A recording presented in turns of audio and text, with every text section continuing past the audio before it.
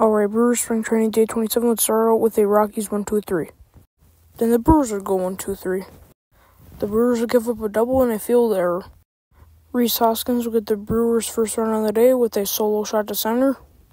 Jackson Chourio would get an RBI single, making it 2 to nothing. And Sal Frelick would get the third out. The Rockies will go 1 2 3 again. Rhys Hoskins will get a single.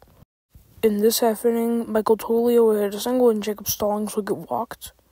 Gary Sanchez will hit a single, then Joey Ortiz will hit a solo home run, making it 3 to nothing Brewers.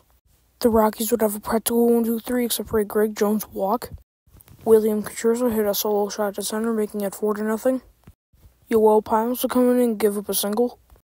Tyler Kinley will come in and give up three singles, making it 5 to nothing. Joey Ortiz will get picked off and Carlos D. Rodriguez will ground out. Elvis Peguero would throw a 1 2 3 except for a Julio Carrera single. Jalen Beeks would give a walk, then Nick Mears would come in.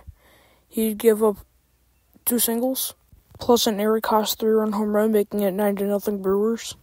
Then Jackson Cherry would strike out to end of the half inning. Enoli Paredes would come in and throw 1 2 3. Zach Agnos will come in and give up a double and a RBI single. Contreras will hit into a double play for the third out. Ninth inning, Shane Smith will come in and give up a solo home run and a single.